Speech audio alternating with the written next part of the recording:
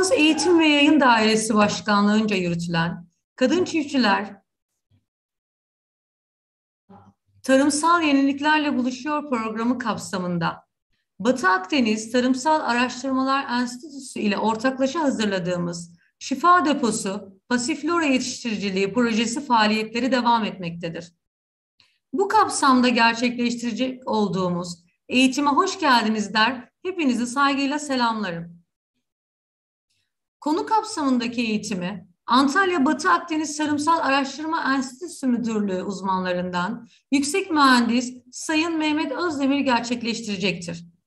Değerli katılımcılar, bizi hem Zoom hem de YouTube üzerinden canlı olarak takip edebilir. Ayrıca Mersin İl Tarım ve Orman Müdürlüğümüzün Facebook ve Instagram kurumsal hesaplarından takip ederek eğitim konularımızla birlikte ID ve password'ına ulaşabilirsiniz. Toplantımız yaklaşık bir saat sürecek olup kalan bölümde ise soru cevap olarak devam edeceğiz. Sorularınızı chat bölümünden yazabilirsiniz. Keyifli ve faydalı bir toplantı olmasını dileyerek sözü yüksek mühendis Sayın Mehmet Özdemir'e bırakıyorum. Buyurun Sayın Hocam.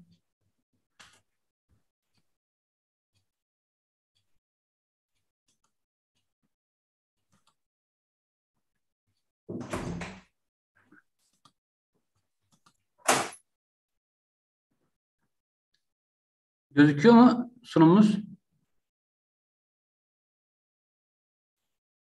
Evet, e, değerli arkadaşlar, e, Mersin Tarım e, İl Tarım Orman Müdürlüğü ile enstitümüz arasında gerçekleştirilen bir proje kapsamında, Kadın Çiftleri Yenilikler Buluşuyor projesi kapsamında, pastora yetiştiriciliği ile ilgili bugün bir eğitim çalışmamız olacak. Gönül ister ki tabi bu eğitimleri yüz, yüz yüze yapalım veya yerinde yapalım ama maalesef uzaklıktan dolayı e, böyle bir yola e, başvurmak durumunda kaldık.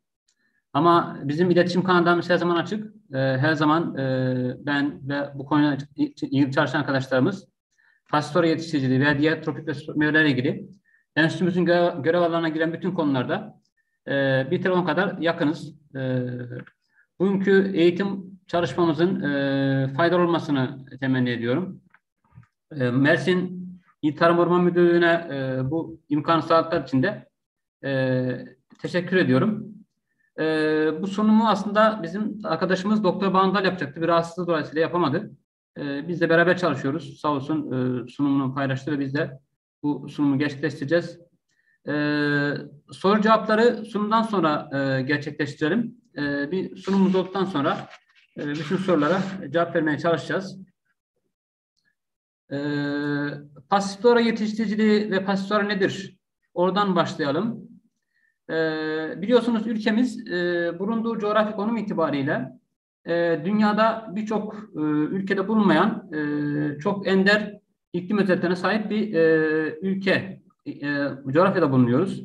Özellikle bizim bulunduğumuz Mersin, Antalya, e, Adana, Muğla bölgesi, özellikle e, Antalya'nın Alanya, Gazipaşa, Mersin'in e, Anamur, Bozcaz, Aydıncık ilçeleri Türkiye'nin en sıcak yeri dediğimiz ve mikroklima anlamında da e, en güzel yerlerinin e, yerlerini oluşturuyor.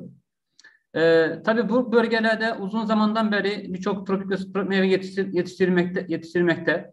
Bunlar işte e, muz başta olmak üzere e, subtropik meyvelerden avokado, e, yeni yeni ülkemize giren mango, pastora, liçi, e, pitaya ve daha yeni yeni giren birçok tropik meyve bizim bu e, coğrafyamızda yetiştirme şansı bulunuyor.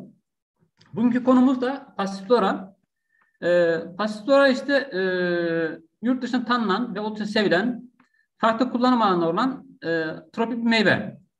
Biz bu meyveyi ne zaman tanıdık? E, bu meyve e, 2000'lerde ülkemize değişik yollar girmez, girmekle birlikte bazı ev bahçelerinde bulunmak, bulunmaktaydı.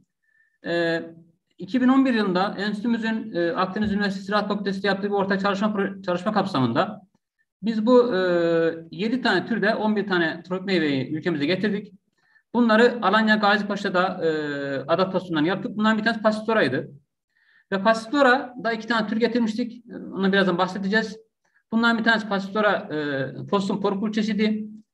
Diğeri de e, Sweet Sunrise çeşidiydi. Ve bu getirdiğimiz 7 tane e, tropik meyve içerisinde e, bölgemize en iyi adapte olabilen, e, en çabuk meyveye yatan ve en öne çıkan aslında pastoraydı. E, pastora e, ülkemizde gösteriş çiçekleri nedeniyle peyzaj düzenlemelerde uzun, uzun zamandan beri kullanılmaktaydı ve bunun adı da aslında Türkiye'de çarkıfelek ve saat çiçeği olarak adlandırılmakta. Çünkü çiçeği e, çok gösteriş çiçekleri mevcut. Burada görüyorsunuz zaten.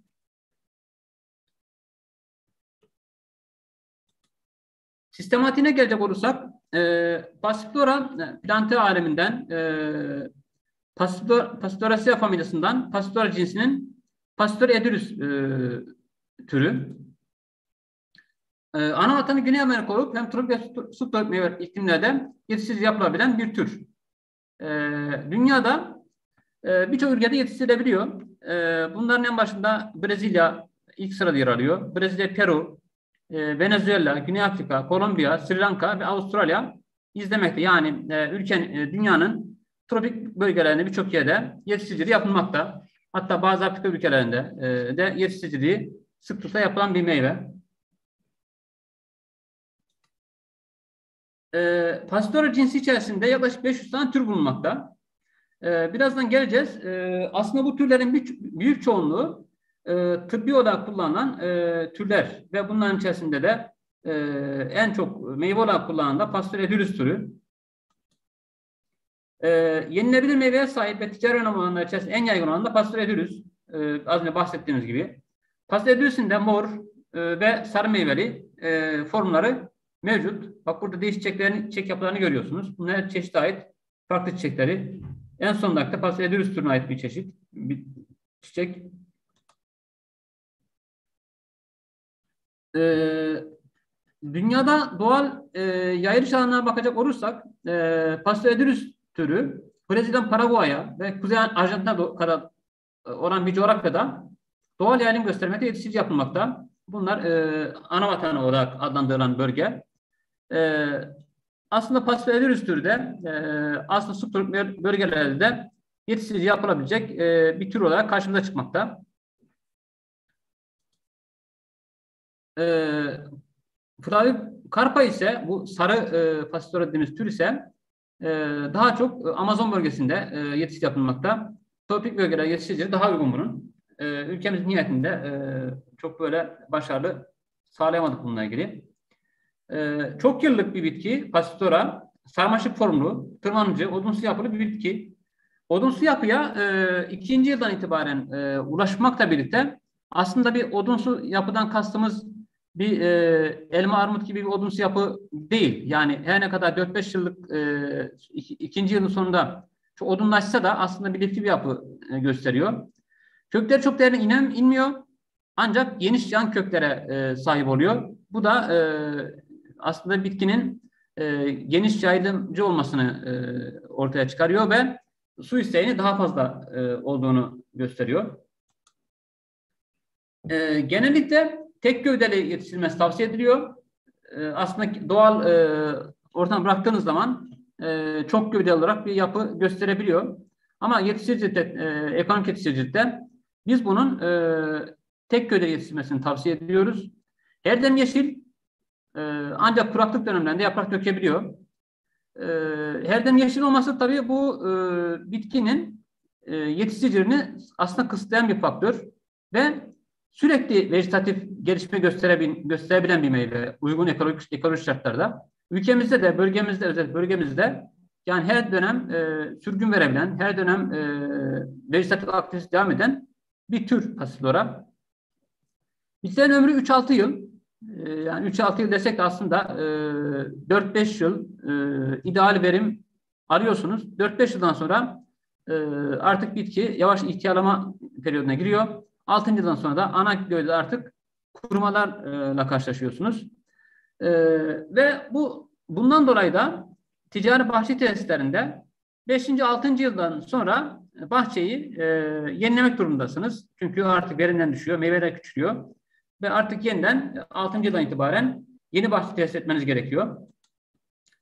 Yaprak yapısını burada görüyorsunuz zaten. E, orgun yapraklar üç toplu e, ve kenarları testere e, dişti. Burada görüyorsunuz üç toplu bir yaprak yapısına sahip. Çeşitler göre değişmekle birlikte yaprakların boyu 5-11 santimetre en iyisi 4-10 santimetre arası değişiyor. Yaprak koltuğunda tek çiçek oluşturmakta. Bak burada görüyorsunuz zaten yaprak e, koltuğunda tek bir çiçek oluşuyor ve oradan tek meyve e, elde ediyorsunuz. Çiçek yapısı az önce bahsettiğim gibi çiçekleri çok gösterişli bir çiçekleri var ve e, aslında birçok yerde de bu gösterişli çiçekler nedeniyle özellikle bu çiçek sığını dediğimiz zararı çok buna konukçu oluyor. E, özellikle Gazişehir bölgesinde çok ciddi bununla ilgili sıkıntı yaşıyoruz. E, 5-7 santim uzunluğunda çiçekler 5 adet yeşil e, beyaz renkli çanak yaprak 5-9 adet beyaz renkli taç yapraktan oluşmakta. Genelde pastora yılda iki kez çiçeklenmekte ve meyve vermekte. Ülkemiz ekolojik koşullarında e, birinci e, çiçekler Mayıs, Haziran aylarında açıyor ve bunun meyveleri Temmuz, Ağustos'ta hasat ediliyor. İkinci meyveler e, Eylül, Eylül, Eylül ayında çiçek açıyor. Ocak, Şubat aylarında e, meyveler hasata geliyor. Ve bu durum aslında e, çeşit özelliği, yetişme şartları, iyi ve iklime bağlı, bağlı değişiklik gösterebilmekte. E, hatta bazı ana vatanında her dem e, açan bir e, türleri ve e, çeşitleri de mevcut.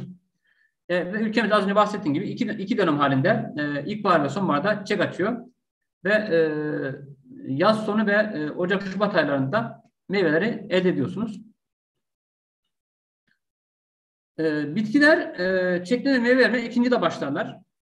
Tabi bu ekonomik verinden bahsediyoruz. Aslında e, siz fidanları e, ilkbahar, kış donları bittikten sonra yani şöyle Mayıs'ın e, şey Mart'ın başına falan dikebilirseniz o yılda e, iyi bakım beslemeyle çok ciddi e, meyve almanız mümkün. Yani e, ticari yetiştiricilikte e, siz Mart'ta falan bitkiyi e, toprakla buluşturursanız, bakım beslemeyi iyi yaparsanız o yıl e, Temmuz ayından itibaren, e, Eylül ayından itibaren meyve almaya başlarsınız. E, bu Flavicarpa e, türü erkek ve dişi olan her ikisine, her ikisine sahip olmakla birlikte kendine kısır. E, tozlama için mutlaka e, arıya ihtiyaç duyuyor. Ama e, Edülüs türü e, kendi kendini e, tozlayabiliyor. Az önce bahsettim. E, ülkemizden çok bulunan Pastelodürüs türü e, kendi kendini tozlayabilen ve dölleye, kendi kendini dölleyebilen bir tür. Ve o yüzden bizim e, ticari çeşitimiz olan Possum purpur çeşidi tozlamaya ihtiyaç duymadan e, kendi kendine meyve oluşturabiliyor. E, tozlamadan itibaren 70-80 gün sonra meyveler olgunlaşmakta. Yani e, 70-80, 2,5 ay gibi bir süre içerisinde meyveler e, olgunlaşmakta. Şimdi meyve özellikle bakacak olursak e, yapraktan bahsettik, çiçekten bahsettik. E, şimdi meyveye gelelim. Gövdeden bahsettik. Meyve yapısı artık bu meyveyi e, 200 seneden beri marketlerde e, görebiliyoruz. Eskiden sadece lüks marketlerde görebiliyorduk. Artık ülkemizde yetiştirdik arttıkça ve insanların damak tadına e, uygun olduğu anlaşıldıkça insanlar bunu artık arıyorlar. Özellikle bizim sahil bölgelerinde, büyük marketlerde ve bunun ciddi anlamda e, büyük marketlerde satışı gerçekleşiyor. Hatta Antalya şartlarında pazarda bile bulabiliyorsunuz artık. E, meyve yapısı oval ve yuvarlak şekilli. Mor veya sarı renklerinde olup çeşitli çaplar 4-7 cm arasında değişmekte.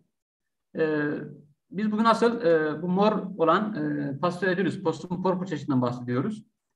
E, meyve içerisinde görüyorsunuz zaten jelimsi bir yap var ve içinde çek, çekirdekleri bulunuyor. Ve bu bir meyve suyu aslında barındırıyor. Tohumları sarı turuncu renkli olup aromatik meyve suyu keselere doğru ve bunu bu şekilde kaşıkla e, tüketebiliyorsunuz.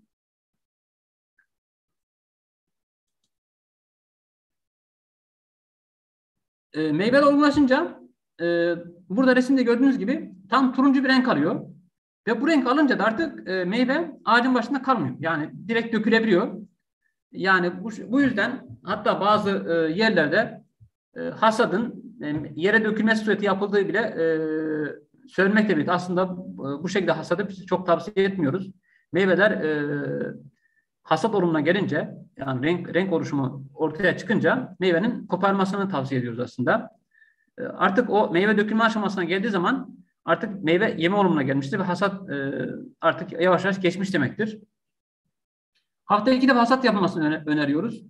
Çünkü bunun e, meyveleri e, meyve bir anda hepsi olgunlaşmıyor.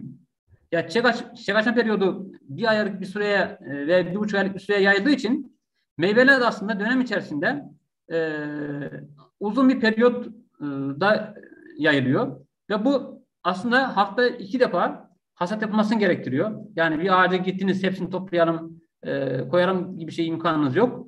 En az e, hafta iki defa hasat yaparak hasadı e, uzun bir periyoda yaymış oluyorsunuz.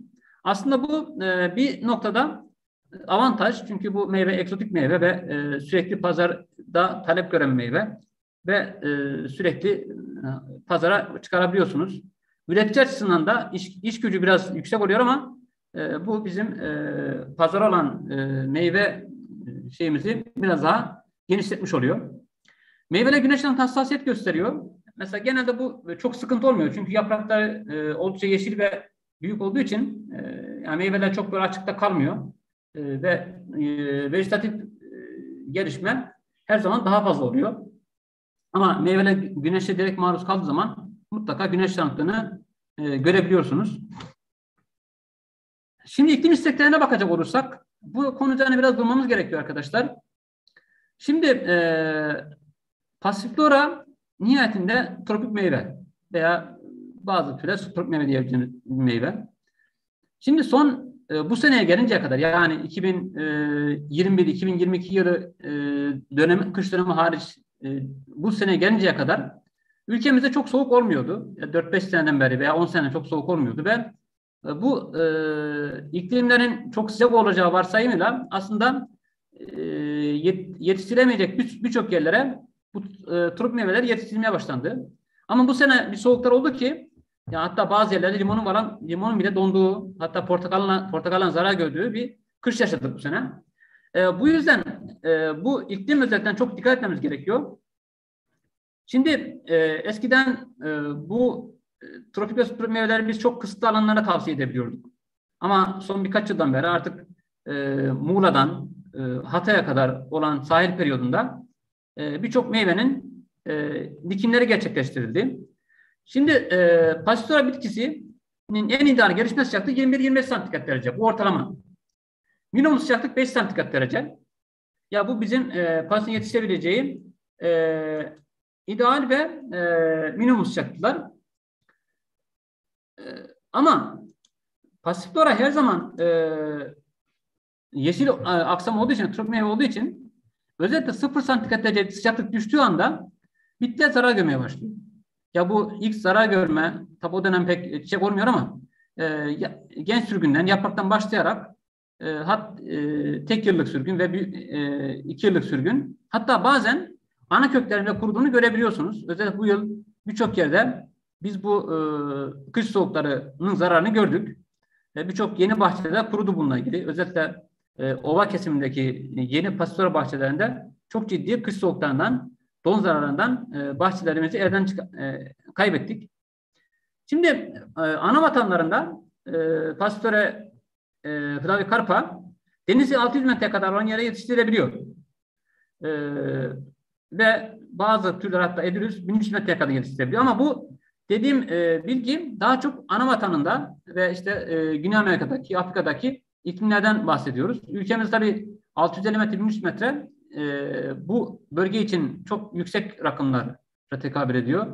E, ama ülkemizde özellikle 0 santigratın altına düşmeyen e, yerlerde yetiştirebileceğini e, düşünüyoruz ve bu şekilde e, üreticilerimizi yönlendiriyoruz.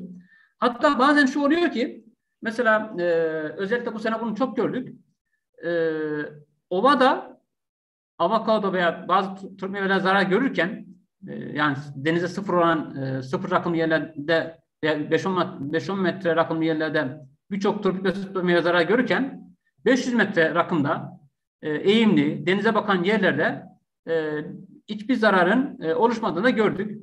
O yüzden e, bu tür meyvelerde bahçe tesis yaparken mutlak surette e, o yerin, o bölgenin yani yetişik yapacağımız bölgenin uzun yıllar iklim verini elde etmemizde fayda var. Çünkü e, bu bize aslında bir fikir veriyor. Hatta bazen e, oluyor ki e, eğimli yerlerde veya güneye bakan yerler veya kuzeye bakan yerlerin e, kendi içerisinde 5-6 santigrat derece farklı e, sıcaklık değerlerini görüyorsunuz. Bu kışlar, kış aylarında hatta bir derecenin de çok önemli olduğunu bu sene çok iyi gördük bunu. O yüzden ticari bahçe kurulumu yaparken mutlak surette uzun yıllar iklim verileri almamız gerekiyor. Sıfır santigrat altından düşen yerlerde e, bahçe tesis etmemiz gerekiyor. Ve mutlaka e, arazinin yöneyi, rüzgar durumu gibi faktörleri incelememiz gerekiyor. Bunu geçiyorum. Toprak isteği ne gelecek olursak çok özür diliyorum. Bir defa e, bizim bölgemizin toprakları genelde organik bakımından, e, organik madde bakımından zayıf. Ve bu meyvelerde, bu bitkilerde e, her dem yeşil olduğu ve sürekli vegetatif gelişme gösterdiği için organik madde bakımından zengin topraklar istiyor. E, iyi drene olabilen, yani su tutmayan, kumlu tınlı ve hafif asit yapılı, pH'ı 6,5-7,5 arasında olan topraklar bizim için ideal e, topraklar oluyor. Ve e, toprak tuzluluğunda hassas bir tür. Şimdi organik maddenin yüksek, yüksek olması neyi kazandırıyor bize? Bir defa e, yüksek organik maddeli e, topraklarda su tutma imkanı daha fazla. Bitkilerin e, besin maddesini alım imkanı daha fazla ve e, daha geniş periyotta besin maddesi alabiliyor bitkiler.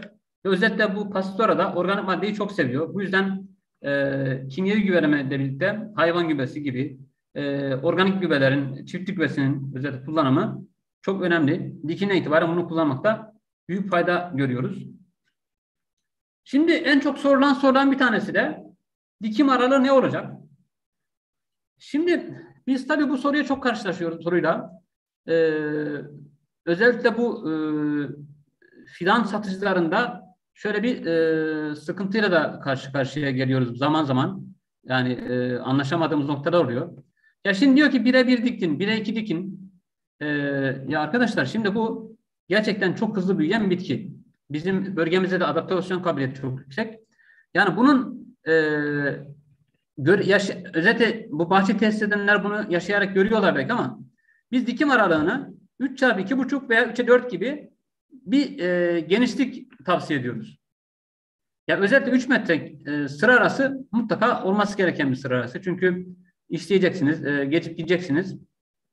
Ve bu e, hesaptan da e, dekara 133 işte 83 arası bir bitki ye tekabül ediyor bu. E, ona göre e, fidan talebini veya e, bahçe kurulumu buna göre yapmanız gerekiyor. Tabii bu 3'e 3, 3'e 4, e, 3'e 2,5 gibi dikim aralıkları biraz da bu e, uygulayacağınız terbiye şekline bağlı olarak değişebiliyor. Ve aradan e, iş makinesinin geçip geçmeyeceğiyle ilgili e, de bazı e, sorunlara bağlı olarak değişebiliyor. Ama mutlaka bizim tavsiyemiz 3'e 4 gibi, 3'e 2,5 gibi bir e, dikim sıklığını tercih ediyoruz. Yani hele 1 metre, 1,5 metre yani özellikle sıra özel 1 metre çok arkadaşlar yani bir sene sonra artık e, bitkiyi kontrol edemez bir duruma getiriyorsunuz. Bu yüzden e, dikim sıklığını çok böyle sık tutmamak lazım diye düşünüyoruz. Çünkü biz bunun tecrübesini defalarca yaşadık. Sulama Az önce bahsettim. E, sulama e, mutlaka olmazsa olmaz bir e, isteğimiz. Çünkü bu her dem yeşil ve sürekli vegetatif gelişme gösteriyor. E, ve bu özelliğinden dolayı da mutlaka e, sulama suyuna çok ciddi e, talebi var. Yani yıllık 1000-1200 metre yağış alan yerlerde yetişiklik yapılmakta. Ama e, bu yağış rejimi düzenli olursa belki sulama ihtiyaç duymayabilir. Ama ülkemizde özellikle yaz aylarında bölgemizde yani aylarca yağmurun yağmadığı zamanlar oluyor. oluyor. Ve bu da e, bizi ciddi anlamda e, sulama e, yapmamızı zorunlu hale getiriyor. Ve e, artık son zamanda bunu çok söylememize gerek yok artık. E, damlama sulamayı tercih ediyoruz. E, hatta bazı yerlerde e, mini spring gibi sulama sistemleri de e, yapılabiliyor ama mini spring yaptığınız zaman özellikle alt taraflarda gövdeye su değdiği zaman bazı e, hastalık ve zararlarla karşı karşıya gelme ihtimaline karşı gelme ihtimaline karşı bizim e, tavsiyemiz damla sulama. Ama e, tabii nihayetinde bu sulama sistemleri bir e, metot ve bitkinin alabileceği, her zaman ihtiyaç duyduğunda suya ulaşabileceği sistemlerin uygulamasına fayda var. Ama üstten mümkün olduğunca su vermemek gerekiyor. Çünkü üstten su verildiği zaman e, bazı hastalık ve zararların e, artması zaten beklenen bir şey. Mutlak surette damlama sulamayı e, tavsiye ediyoruz. Zaten damlama sulamayı yaptığınız zaman burada e, hem e, su veriyorsunuz hem de gübre veriyorsunuz. Ayrıca gübreleme e, işçiliğinden de e, kurtarmış oluyorsunuz. Yetiştirme sistemi çok özür diliyorum.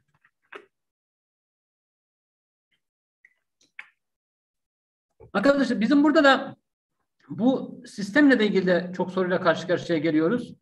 Ee, hangisini yapalım, hangisini kullanalım gibi. Şimdi burada e, burada dikkat etmemiz gereken şu. Bu pasiflora sarıcı bitki ve sürekli yan dal, oluşturuyor. Ve yan dal oluşturdukça e, bu yan dallar üzerinde meyve, göz, meyve, çiçek ve meyve oluşturan bir tür. Bu yüzden e, vereceğimiz e, yetişme sistemi bu e, sağlaması gerekiyor. Bunun yanında işçilik, hasat işçiliği, gerekiyorsa ilaçlama işçiliği e, ve zaman zaman bu bahçenin budanmasıyla ilgili sıkıntıdan dolayı e, bu sistemde hangisi bizim e, işimizi görecekse bunu kullanmamız gerekiyor. Bunlar için Asmara'da olduğu gibi tedi terbiye, çardak, pergola, kamella gibi destek sistemine ihtiyaç duy, duyuyor. Bu yani malum sarıcı ve tırmancı bitki. Ee, bizim en çok uyguladığımız e, telli terbiye sistemi kurulumu örneği. Biz bunu yapmıştık. Ee, bir defa taşıyıcı direkleri kullanıyor. 2,5-3 metre uzunluğunda hazırlamakta. Ve bu direklerin 50 santimetre toprak altına girip gömülmekte. Ve bunların arasına da 4-5 metre bir boşluk bırakıyoruz. Ee, direkt, direklerin üst kısmına alt kısmından teller geçerek del, dal, dallar tellere yatırılmakta. Ya burada e, aynı üzümlerde e, 3T sistemi dediğimiz altta bir tel üstte de 3 tane tel e, bir, e, olacak şekilde bir destek sistemini e, yapıyoruz. Ve bu şekilde e, e, alttaki telle bitkiyi en üste kadar çıkartıyoruz ve oradan dal, yan, yan dal oluşturuyoruz. Burada sistemi görüyorsunuz. Bu Gazipuş'ta bizim e, yaptığımız bir tesis. Şimdi bunun yanında e, kamela tarzı dediğimiz, çardak sistemi dediğimiz sistemde de kullanılıyor. E, ve bu nihayetinde e, çok yandal ve çok meyve e, alma üzerine kurulduğu için ve önümüzdeki yani ileriki yıllarda budama e, ve hasat işçiliğini kolaylaştırmak adına bu sistemden bir tane tercih edebiliriz. Ama bizim en çok tercih ettiğimiz ve tavsiye ettiğimiz 3T, e, 3 telli sistem yani e, bir ana direk üzerine bir T şeklinde telli te, e, terbiye sistemi şeklinde bir sistem öneriyoruz. Şimdi burada da e, görüyorsunuz serada e, çit şeklinde yapılmış bir tanesi. Serada olunca biraz daha farklı bir e, sistem uygulamış üretici. Bak burada görüyorsunuz genelde e, tek gövdeli büyütülmüş ve e, T yapılmamış sanki e, çit gibi bir e, sistem uygulanmış. E, soldaki e, sağ, sağdaki şey bizim seramızda bu da e, T sistemi, telli T sistemi yaptığımız bir sistem. Açıkta da e, az önce bahsettiğim gibi bizim arazimizde yapılmış bir sistem bu. E, te, sistemi. Şimdi e, burada tabii e, belki birazdan da gelebilecek veya soru gelince e, şey yapabiliriz. Şimdi bu serada yetiştirikle ilgili bir bazı e, şeyler söylemek istiyorum ben. Şimdi bu e, bitki e, her dem yeşil ve e, uygun sıcaklık ve iklim şartlarında e, çok hızlı gelişme gösteren bir tür. E, çeşit özellikle e, Edülüs ve Possum porpur çeşidi. Ve biz bunu serada yetiştiricinde e, denedik. Çünkü serada ve açıkta bunun yetiştiricini kıyasladık. Serada e, biz bu bitkiyi e, kontrol altına alamadık. Yani o kadar çok hızlı gelişti, büyüdü ki e, o sıcak e, şartlardan dolayı çok hızlı büyüdü, gelişti. Ve tam e, çiçek zamanı yani Mayıs, Haziran ve Eylül aylarında e, çok ciddi e, sera sıcaktan ayarlanmasından dolayı çok ciddi çek dökümler oldu ve verim e, açıkta yetiştiricilere göre çok daha azaldı, az oldu. O yüzden e, sera yetiştiriciliğine e, biz biraz böyle canı gönülden e, sera yetiştiricilik yapın e, deme şansımız pek olmuyor. Yani olsa bile seranın mutlak surette e, çok donanım gerekiyor. Havalandırmasının iyi olması gerekiyor. Nemlendirmesi iyi olması gerekiyor. Kontrollü bir ortam sağlayabilirsek ancak sera yetiştirdik e, öneriyoruz. Veya kışın kapatıp yazın açmak, üzerine açmak gibi bir sistem yaparsak e, biz sera yetiştiriciliği önerebiliyoruz. Ve e, en iyi de biz e, uygun ekolojik koşullarda açık yetiştiriciliği tavsiye ediyoruz. Şimdi çoğaltma e, konusuna gelecek olursak nasıl çoğaltıyoruz bitkiyi? E, genellikle biliyorsunuz bitkiler e, iki defa iki şekilde çoğaltılıyor. Bir generatif çoğaltma, bir de vejetatif çoğaltma. Şimdi generatif çoğaltmada tohum ekiyorsunuz ve oradan bitki elde ediyorsunuz. Buna biz generatif çoğaltma diyoruz. Ama bu generatif çoğaltmada e, şöyle handikap, handikapla karşı karşıya kalabiliriz. Ektiğimiz e, tohum e, ağaç çeşidinden aldık. Bundan çıkacak materyal e, her zaman ağaç çeşidinin aynı özelliklerini göstermeyebilir. Özellikle yaban tozlanan çeşitlerde genellikle açılım göster gösterir bunlar ve e, bunlar ana bitkinin aynısı olmayabilir. Bu sıklıkla karşılaşıyoruz.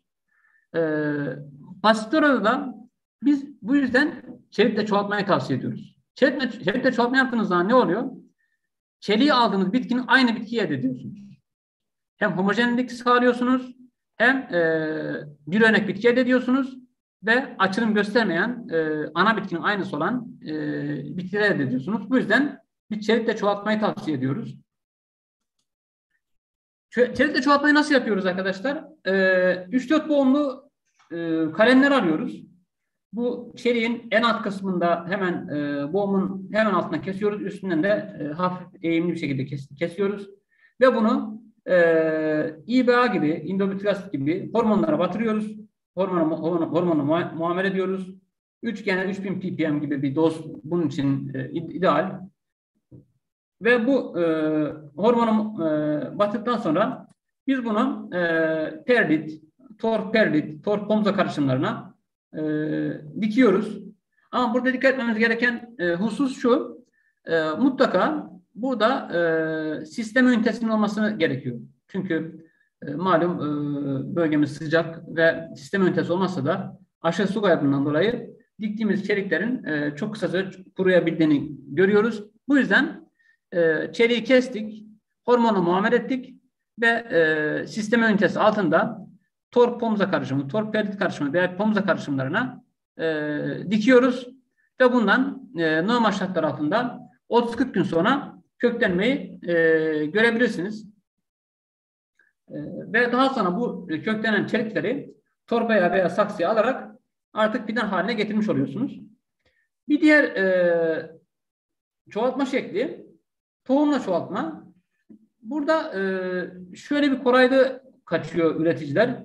E, sanki hiç açılım göstermeyecekmiş gibi. E, nihayet bir tane meyve alıyor ve bu meyveden belki 100-200 tane, 150-200 tane e, meyve e, çekirdek alıyor ve bunu hemen ekiyor. Zaten e, köklendirmesi de kolay ve bunu hemen fidan elde ediyor. İlk, e, en başta e, geçen yıllarda özellikle bu çok başımıza geliyordu. Çünkü piyasada yeterli fidan bulunmadığı için e, tohumla üretilen birçok e, çeşit veya tip piyasaya girdi. E, o yüzden ve çok böyle ticari bahçelerde oluşturulamadı aslında. Bu tohumla e, oluşturulan tohumla elde edilen fidanlarla aslında ticari bahçeler oluşturulamadı. Ve bunların birçoğu da e, akıbeti ortada şu anda yok. Mutlaka biz o yüzden çetle çoğaltılmış fidan elde etme, elde, fidan kullanmayı tavsiye ediyoruz. Tohumla çoğaltma ancak işte ıslah çalışmalarında kullanılabiliyor. E, ve bir, bir örnek fidan elde etme şansınız burada pek olmuyor. Bir üçüncü çoğaltım aslında e, dok kültürle çoğaltım. Dok kültürü çoğaltım da e, ancak vejetatif çoğaltım gibi bir örnek bitkiyi elde edebiliyorsunuz. Ama e, ülkemizde dok kültüre çoğaltılan e, çeşitler de mevcut. Yani bunu yapan ticari e, işletmeler de mevcut. Ya piyasa talebi olursa e, bunun dok kültüre çoğaltılmasında herhangi bir sıkıntı şu anda gözükmüyor. Çok rahat bir şekilde dok kültüre çoğaltılabiliyor. E, ama çelikle çoğaltımda e, çok kullanılan ve e, rahatlıkla e, bir örnek fidanın elde edildiği e, çoğaltım şekli olarak karşımıza duruyor zaten. E, burada e, pek aşık kullanmıyoruz. Aşıyı niye kullanıyoruz? Zaten çok böyle aşı yapmaya gerektirecek bir durum söz konusu değil. Ee, belki anaç manaç çalışmalar olursa o zaman ancak aşıya gerek şu an olabilir. Ya yapılabilir mi? Yapılır. Hiçbir şekilde aşı tutmasında sıkıntı yok. Kalem aşısı olur, göz aşısı da yapılabilir. Ama şu anda pek fidan aşı, fidan üretiminde aşılama, e, e aşılı fidan e, üretim ve satışı şu anda pek söz konusu değil. E, başka bir konu, budama konusu. En çok sıklıkla karşılaştığımız konulardan bir tanesi arkadaşlar bu. Çok da önem vermemiz gereken hususlardan bir tanesi. Çünkü e, siz pasiflorayı eğer zamanında budamazsanız, zamanında kontrol altına almazsanız pasiflora bitkisi e, bir sene içerisinde e, bütün o e, şeyi kaplar, nedir o, e, telli terbiye sistemini kaplar. Hatta az önce ben bahsedecektim, e, oraya atladık. E, bu yaptığınız telli, te, telli test sistemi, yani test sistemi daha doğrusu, nasıl yaptığınız çok önemli değil. E, mutlaka ana taşıyıcı direklerin çok sağlam olması lazım. E, tellerinin çok sağlam olması lazım. Esnekliğe me mehal verilmemesi lazım. Çünkü ya siz çok küçük fidan dikiyorsunuz ama bunun bir sene sonrasını gerçekten hayal etmek çok zor oluyor. Ve bu budamayı da zamanında gerçekleştiremezseniz iki sene sonra böyle üst üste binmiş e, adeta e, Arap saçı gibi karma karışık olmuş bir e, bitki e, sistemini görebilirsiniz. Tabi bunun budaması da böyle telle sardırılmış olduğu için aradan o kuru dalları çıkarmak, işte yeni dal e, ikam etmek çok zor oluyor. O yüzden budamaya mutlaka her yıl e, yapmakta fayda var. E, aksi takdirde yan dal oluşumu çok azalıyor ve bitkinin bu e, alt tarafları sanki e, saç gibi böyle e, düğümlenmiş gibi bir hal alıyor. Ve buradan e, bu eski kurumuş dallarda alma şansınız çok az oluyor ve e, bitki artık yeni dal e, vermemeye başlıyor. Bu da bitkinin e, aslında ömrünü kısaltıyor. Ve bu e, dallar altta kuruya kuruya bu e, telli sisteme çok acayip yük bindiriyor ve bu sistemin çökmesine neden olabiliyor. Çekir donası yapılır amacıyla ana lider dallar tellere yatılır. Önce de e, bitkiyi diktiniz, bir lider dal bırakıyorsunuz ve bu lider dal e, yukarıdaki tele kadar çıkıyor tek gövde halinde. Ve burada bitki dallandırıyorsunuz, yan dalları oluşturuyorsunuz ve yan dalları e, sağa sola e, dağıtıyorsunuz ve bu şekilde dağıtıyorsunuz ve yan dallar aşağı doğru sarkmaya başlıyor ve e, o sarkan yerlerde artık meyve oluşmaya başlıyor. E, ve bit ve genet hasat sonrası budanmakta. Çiçek ve meyveler yeni sürümler üzerinde oluşuyor. Bunu az önce bahsettim. E, bu demektir ki ya biz biz bitkiye sürekli yan dal e, oluşturmamız gerekiyor. Ya eski dallarda bir bitki meyve oluşumu söz konusu olmuyor. Ve ne kadar yan dal oluşturabilirsek o kadar e, çok çiçek ve meyveyi görebiliriz. E, ama bunun yanında da ya sürekli yan dal olsun diye de geriye geriye doğru çok e, derin budama yapmak da çok önerilmiyor. Bu sefer bitkinin e, fizyolojisine zarar vermiş oluyoruz. Yanına geniş sürgün geliş teşvik amacıyla hastalıktan sonra yan dallar 4-5 boğum bırakıcı şekilde kesimler yapılmakta. Yani e, yan dalları e, kısaltıyorsunuz ve buradan yeni sürgünler elde ediyorsunuz. Ve sürekli e, burada yapmanız gereken hususların bir tanesi şu. E, kuruyan, işte e, şekli bozan dalların bazen dipten çıkarılması da gerekir. Özellikle kuruyan dalların hiçbir şekilde bitkiden kalınması lazım. Çünkü geriye doğru kuruma devam ediyor. Bir de kuruma şundan oluyor. E, özellikle bitkide e, vejetatif gelişim çok hızlı olduğu için altta kalan dal mutlaka kuruma eğilimi gösteriyor ve sürekli e, geriye doğru kuruyor. O yüzden bitkiyi sürekli canlı tutmakta fayda var ve e, üst üste binen ve e, dalları zaman zaman dipten çıkarmakta gerekebilir.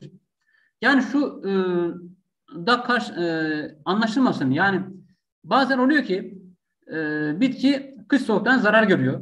Özellikle e, yeni sürgüne zarar görüyor. Hatta bazen yerine, yerine göre ana dallara kadar e, zarar e, oranı yükseliyor. O yüzden e, siz bir derin budadığınız zaman da aslında bitkinin çok kısa süre sonra e, eski haline e, geldiğini göreceksiniz.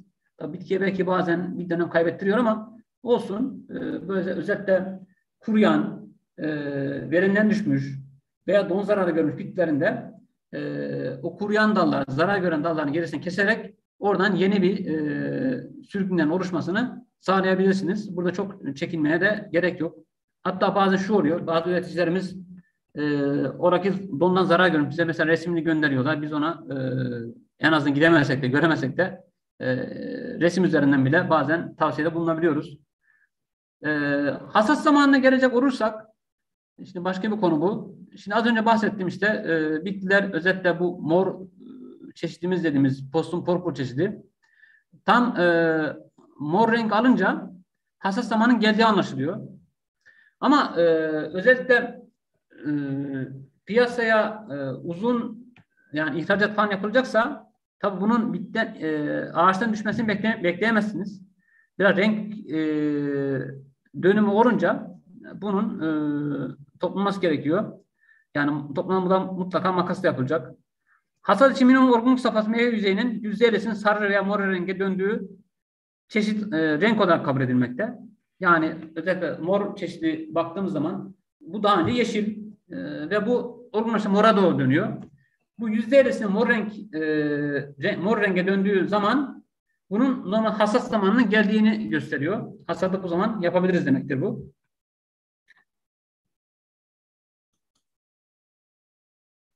Şimdi verim e, noktası baktığımız zaman ha, az önce şunu da söylemek lazım. Yani e, benim bahçemde bir tane ağacım var. Ben bunu işte kendim e, ara tüketip yiyeceğim. İşte e, her defasında yarım kilo bir kilo meyve toplayacağım derseniz o zaman e, çok erken toplamanız gerekmiyor. E, tabii burada şunu da dikkat etmek lazım arkadaşlar. E, tabii ne kadar erken toplarsanız bunun tadı e, asitliği yüksek oluyor. Yani ne kadar e, geç bırakırsanız e, asitlik düşüyor, tadı e, artıyor.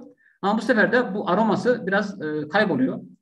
Özellikle yaz aylarında e, yani birinci hasatta Eylül, Ağustos sonu Eylül'de yapılan, yapılan hasatlarda pa, ülkenin pastör meyveleri tatlı ve e, yani çok ekşi olmamakta, ol, olmuyor.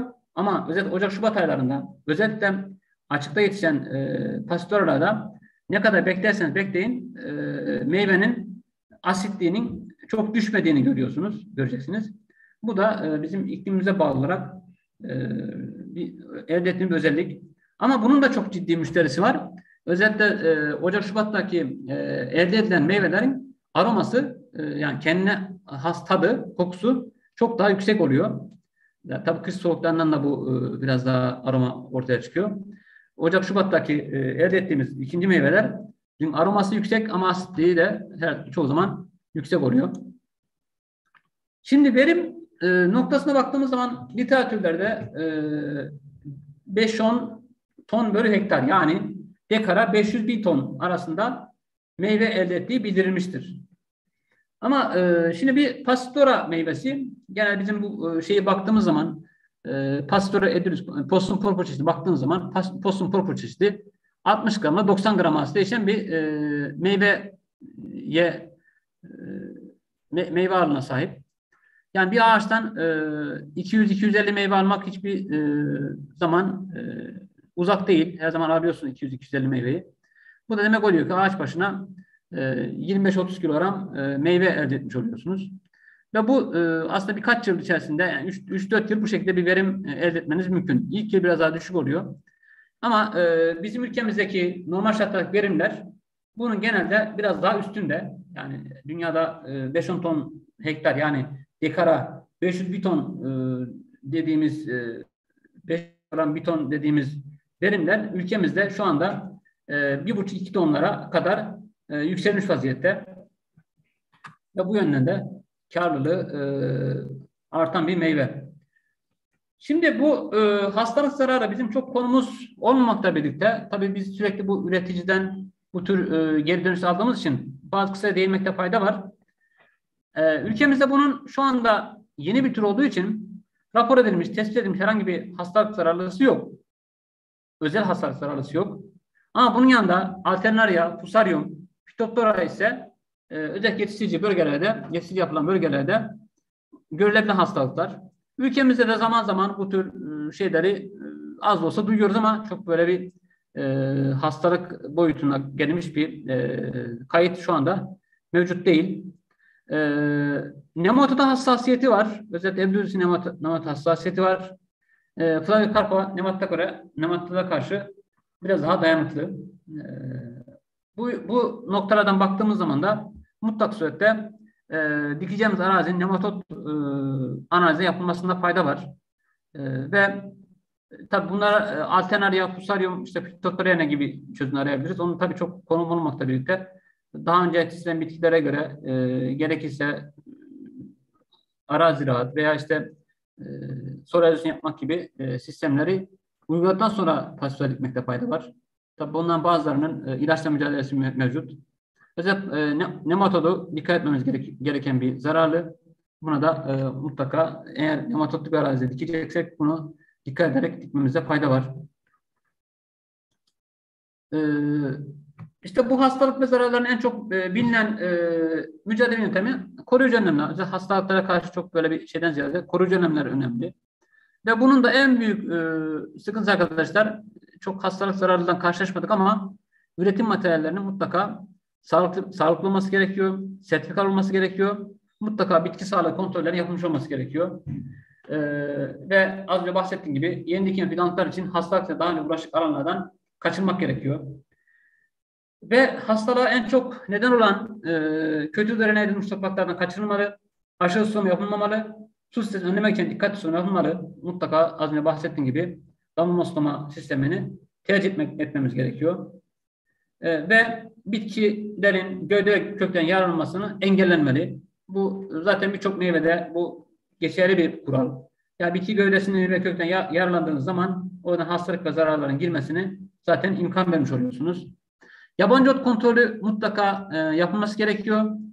E, özellikle e, bu yabancı ot kontrolü belki 2-3 sene ve 2 sene e, gerekecek. Daha sonra zaten e, altlar gölge bir hale geleceği için pek yabancı ot problemimiz çok kalmayacak. Ama Akdeniz şartlarında e, özellikle e, sürekli kışın yağış olan, ve olan yerlerde bu yabancı ot sıkıntısı her zaman e, karşılaştığımız bir sıkıntı.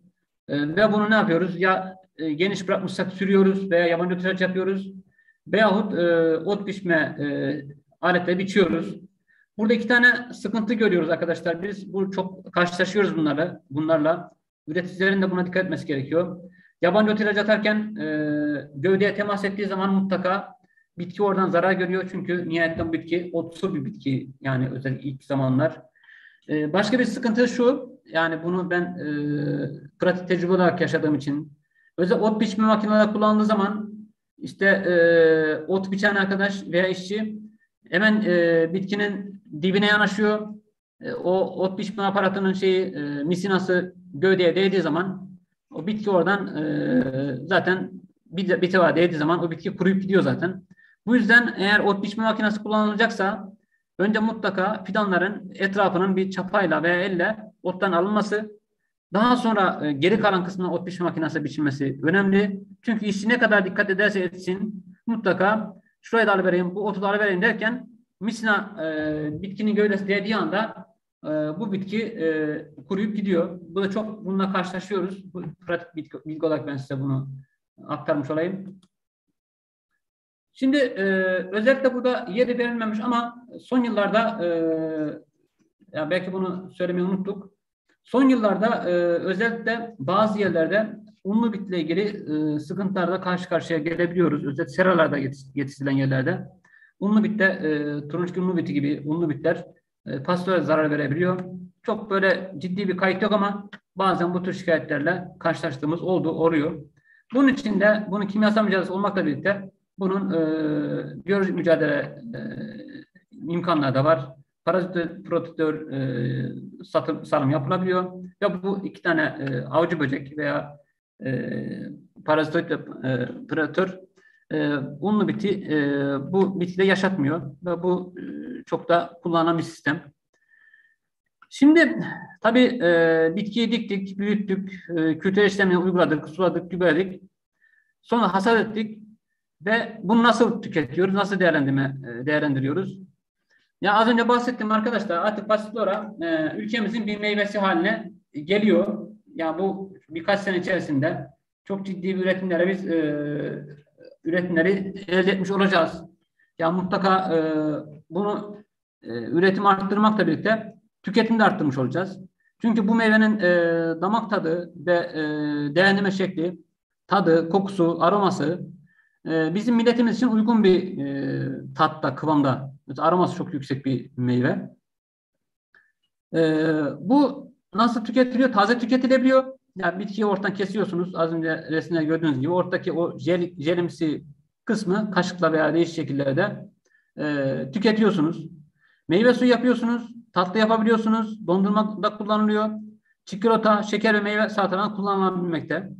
Özellikle arkadaşlar Antalya şartlarında artık dond pastoral dondurmayı, e, pastoral pastayı çok rahat bir şekilde e, görüyorsunuz. E, pastanelerde, dondurmacılarda bunu çok rahat bir şekilde e, görüyorsunuz. Şimdi besin içeriğine bakacak olursak arkadaşlar özellikle potasyum vitamin açısından yüksek, sodyum kolesterol ve doymuş yağ bakımından düşük içeriğe sahip bir meyve. Ya doymuş yağ bakımından da düşük içeriğe sahip olması çok ciddi bir e, artı özellik sağlıyor. E, diğer kullanım alanlar, alanlarından bakacak olursak posası nihayetinde bu bitkinin e, yüzde bir bitki aldığınız zaman yüzde otuzundan işte o e, sıvı jel gibi yenen bir kısım oluyor. Yüzde yetmiş kısım da aslında atılıyor. Bu posa kısmını yem sanayinde kullanabiliyor. E, Brezilya astım, bronşite, boğmacaya karşı kullanılmakta.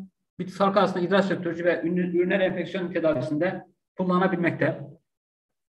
E, asıl bunun e, belki birazdan e, bahsedeceğiz ama şimdi yeri gelmişken bahsedeyim. Pasitora'nın e, bir türü de inkarnata türü. Bu tıpta kullanılan bir tür aslında. Ülkemizde bunun e, üret, üretenleri de var. Ama bunlar daha çok e, bu üretimlerini e, sözleşme üretim şeklinde ilaç firma, firmalarına yapıyorlar. Ve ilaç firmaları bunun daha çok yaprağını e, bu ilaç sanayinde kullanıyor. Sarı meyveli formları, Flavikarpa formları daha çok asitli olup meyve suyu sanayisinde kullanılabilmekte.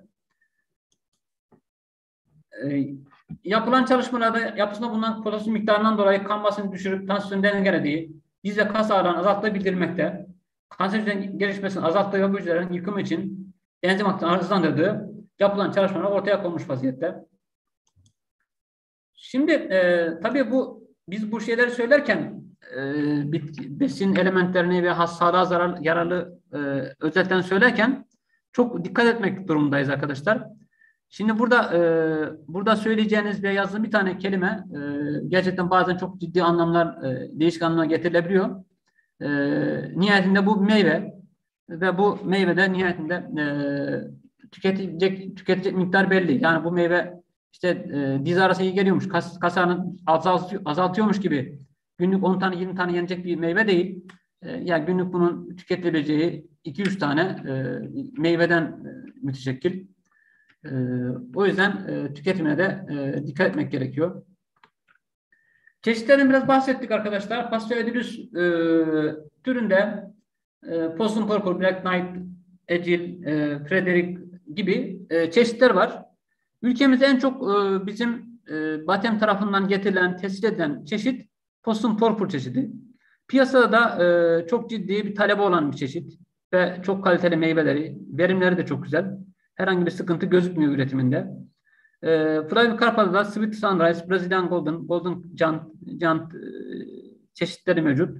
Ama e, bahsettim, e, biz bu e, getirdiğimiz e, Sweet Sunrise çeşidinde ülkemizde e, birazdan gelecek bir e, şey sağlayamadık, bir verim elde edemedik. E, Possum Purple çeşidi e, bahsetmiştim. 2012 yılında Amerika'dan getirdiğimiz çeşitten bir tanesiydi. Üniversite, Akdeniz Üniversitesi, biz ve Antalya İl Tarım Orman Müdürlüğü tarafından yürütülen proje kapsamında biz bu çeşitin adaptasyonu gerçekleştirdik ve e, 2018 yılında biz enstitü olarak bunun tescilini sağladık ve ülkemizin ilk tescilli pasiflora çeşidi olmaya hak kazandı. E, ve gördüğünüz gibi piyasada en çok bulunan çeşit ve e, meyve kalitesi de, verimi de, meyve büyüklüğü de ideal e, bir çeşit olarak karşımızda duruyor. Ve bunun fidan üretimleri de gerçekleştiriliyor. Ee, az önce bahsettiğim gibi böyle bir proje yürüttük. Projede de e, üç kurum e, alt türü, türü getirdik ve adaptasyonlarını yaptık. Ve bunların sonucunda arkadaşlar iki tane e, pitaya, bir tane pastora, bir mango, e, iki tane lisi, bir longan çeşidini test ederek Türk e, tarımına kazandırmış olduk. Bunların şu anda fidan üretimleri yapılıyor ve uygun ekolojilerde dikimleri gerçekleştiriliyor. Ve az önce bahsettiğim gibi pasiflora bunlar içerisinde en öne çıkan e, türdü aslında. Türlerin bir tanesiydi. Ve e, Possum porpur çeşidi e, çok iyi verim ve kalite elde ettik. Ama e, bu her iki çeşitte dikimi takip eden Mayıs Haziran Mayıs Haziran ayı başında çeklenme gözlendi. Possum porpur çeşidinde meyve tutumu gerçekleşmiş. Sıvı standart çeşidinde ise çekleme olmuş fakat meyve tutumu gerçekleşmemiştir. Biz bu sıvı çeşidinden e, maalesef meyve alamadık ve bunun tescil yoluna gitmedik. Araştırmada bu çiçekten yapısal bir sorun da bulunamadı. Çok da e, sebebinde bilmiyoruz. Ama ülkemize daha sonra getirilen bazı e, sarı çeşit, sarı tipler ve çeşitler var. Bunlardan bazı verim alan e, üreticilerimiz de var. Ama e, şeye pek e, postum porpur çeşidi kendi içerisinde e, lider durumda. Postum porpur çeşidi mor kabuk sahip. Çektiğimizde Mayıs sonu Haziran başı ve e, ikinci çiçekler de e, Ağustos sonu Eylül ayı gibi. Hasat zamanı Temmuz sonu Eylül hasadı ikinci çeklemede oldu. İşte ikinci hasatta Ocak Şubat aylarında gerçekleşiyor. Meyve ağırlığı az önce bahsettim 55-72 gram. Ya bazen 80-90 grama kadar çıkabiliyor. Ee, ilk yıl bitki başına 150 tane, ikinci yıl 200 adet meyve alındı. Bu bizim e, elde ettiğimiz direkt sonuçlar bunlar. Biz tabii e, bunu diktiğimiz lokasyon e, Türkiye'nin en sıcak yeri dediğimiz Gazi Paşa'da denize bakan Macarköy'deki Macar'da köyüne bir arazi yaptık. Bunu açık arazi yaptık. Ve Galedran'da yaptık. E, Yakacık'ta Gazi Paşa'nın en e, uç köyünde yaptık. Ve burada herhangi bir soğuk zararla karşılaşmadık. Daha sonra bu üreticilerimiz bu çeşitlerin e bu çeşitleri e, fidanda üreterek daha büyük bahçede tesis ettiler ve şu anda çok ciddi anlamda özellikle Gazi, Alanya, Gazipaşa'daki Macar'daki üreticimiz çok ciddi olarak bu pastora çeşidini e, üretiyor ve piyasaya satıyor. Yani meyvesini satıyor, fidanını satıyor. Ve e, oldukça da başarılı bir çeşit olduğu e, ortada. Bitki başına verim her yıl artarak devam etti ve yaz döneminde verim daha yüksek saptandı. Yani iki defa meyve alıyorsunuz ama e, birinci aldığınız meyve Haziran'da yani e, Ağustos Temmuz'da elde ettiğiniz meyve e, ikinciye göre daha fazla oluyor. E, postun depolamaya taşımaya elverişli olduğu, tazelik açısından tadından nispeten uygun olduğu belirlendi. Bu adaptasyon, verim meyve kalitesi ve fazla açısından uygun bulundu bu çeşit. Arkadaşlar benim e, pastora ile ilgili anlatacaklarım bunlar. E, biz enstitü olarak e, bu çeşitlerin, bu türlerin çalışmalarını yürütüyoruz açıkta, örtü altında e, bize gelen talepleri değerlemeye çalışıyoruz. Değerleme şeklinde çalışma yapıyoruz. Tabii enstitümüz bunların e, marmelatını yaptı ve oldukça damak tadı yönünden e, iyi bulundu bunlar. Ve bunlar da meyve oldukça yapıp piyasaya arz ediyoruz. E, fidan üretimlerini gerçekleştiriyoruz. Özellikle biz fidan üretimlerini çeşitli özel bir sektörde devrettik, özel sektörde yapıyor. Biz aynı zamanda yapıyoruz. Sınır sahibi olsa. Piyasada e, özellikle pastöre başta olmak üzere birçok tropik meyvelerin yetiştiriciyle ilgili e, proje çalışmalarına katkıda bulunmaya çalışıyoruz. Üreticiden gelen talepleri değerlendiriyoruz ve elimizden geldiği kadar e, sorunlara çözüm aramaya çalışıyoruz. Benim anlatacaklarım bu kadar. E, benim için teşekkür ediyorum. E, az önce bahsettiğim gibi e, benim ismim Mehmet Özdemir. E, Batı Akdeniz Tarımsal Araştırma Enstitüsü'nde e, bu tropik meyvelerle ilgili 3-4 kişi, 4-5 kişi çalışıyoruz. Yani her zaman e, sorunlara ve çözüm önerilerine katılmaya çalış, elimizden gayret ediyoruz ve her zaman e, eminizde olduğunuzu beyan etmek istiyorum. Benim anlatacaklarım bu kadar. Dinlediğiniz için teşekkür ediyorum. Soru varsa alabilirim. Teşekkür ediyorum. Değerli bilgileriniz için çok teşekkür ediyoruz Sayın Hocamıza. Değerli katılımcılar, sorularınızı chat bölümünden yazabilirsiniz. Bir beş dakika bekleyelim hocam. Tamam. Sorularını yazsınlar. Varsa arkadaşlar, katılımcılar.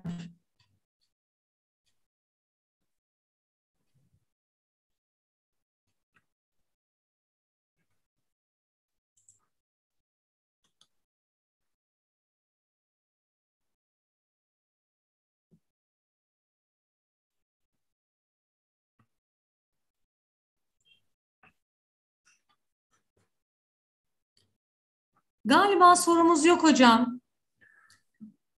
Yani ya çok iyi anlaşıldı veya hiç anlaşılmadı. Yok çok güzel anlattınız yani çok e, keyifle dinledik gerçekten. E, çok güzel de bir konuydu. Gerçekten çok teşekkür ediyoruz. Kolay gelsin diyoruz size. Ben Yeni teşekkür ediyorum. Sağ olun. Yeni konu ve konuklarla bir sonraki eğitimde görüşmek dileğiyle, dileğiyle hoşça kalın. Saygılar. Teşekkür ederim.